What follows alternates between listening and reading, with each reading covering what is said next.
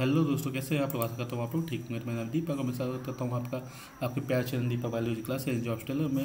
दोस्तों, अगर अपने चैनल को सब्सक्राइब, अगर अपने चैनल पर पहली बार विज़िट कर रहे हैं तो मेरे चैनल को सब्सक्राइब कर लिए ताकि आप जो है इस टाइप की किसी भी नोटिफिकेशन को मिस नहीं कर पाए, ठीक है? तो आप मेरे चैनल पर देख सकते हैं कि मैं यहाँ पे जॉब से रिलेटेड नोटिफिकेशन और साथ ही साथ जो है आपको यहाँ बायोलॉजी से रिलेटेड इंपॉर्टेंट कंटेंट की वीडियोस को रेगुलरली डालता रहता हूँ।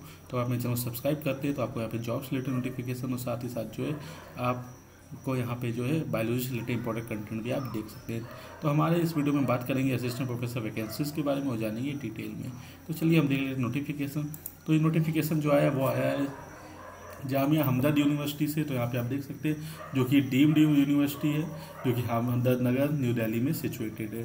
तो इसको भी नैक की एक कैटेगरी से यहाँ पे जो है एक्रेडिट किया गया है। तो आप ये देख सकते हैं, ये एक अच्छी लाइक यूनिवर्सिटी है। तो आप इसके लिए अगर आप असिस्टेंट प्रोफेसर अप्लाई करना चाहते हैं तो ये एक गुड चॉइस रहेगा। तो यहाँ पे आप देख सकते हैं advertisement for different teaching position और contractual basis in Jamia Hamdard ठीक है तो लास्ट डेट जो इन्होंने मेंशन कर रखी है, वो ट्वेंटी सिक्स सितंबर ट्वेंटी ट्वेंटी टू है।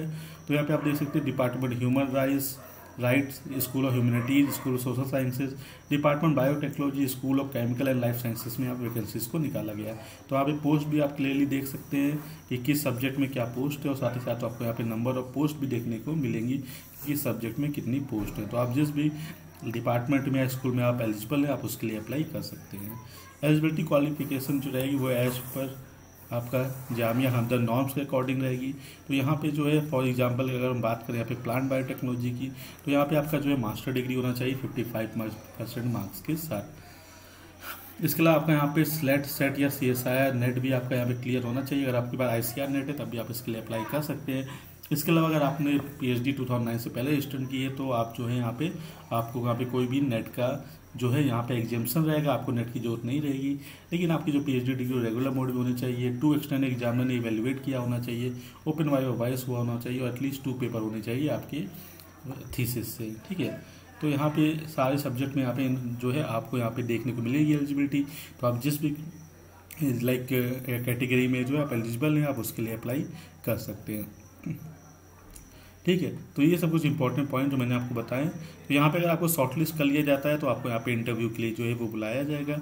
तो यहाँ पे जो है आपको अपना जो एप्लीकेशन है एप्लीकेशन फॉर्म को फिलअप करना है और आपके जितने भी सपोर्टिंग डॉक्यूमेंट जैसे आपका डिग्री आपका नेट सर्टिफिकेट वो सब जो है आपको सेंड करना है। Office of the register assistant registrar establish section Jamia Hamdard Hamdard Nagar new Delhi one one zero zero six two before twenty six सितंबर तो यहाँ पे ट्वेंटी सिक्स सितंबर से पहले जो है आपका जो है यहाँ पे एप्लीकेशन जो है रिसीव हो जाना चाहिए और साथ ही साथ यहाँ पे जो है आपका जो है application fee five hundred rupees है और ये जो है आपको डीडी के फॉर्म में देना है in the favour of Jamia Hamdard payable at new Delhi ठीक है?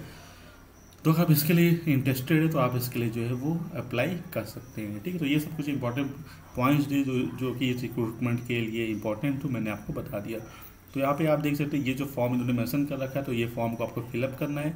फिलअप करने के बाद जो है, आपको जो है, अपने जितने सपोर्टिंग डॉक्यूमेंट है, वो आपको जो है, वो सेंड करना है अलॉन्ग विद दैट फॉर्म और ये जो पोस्ट है सारी कॉन्टेक्चुअल बेसिस पे हैं, ठीक है? तो अगर आपको बता दूँ, ये परमानेंट नहीं, ये कॉन्टेक्चुअल बेसिस पे जो है, ये सारी पोस्ट हैं।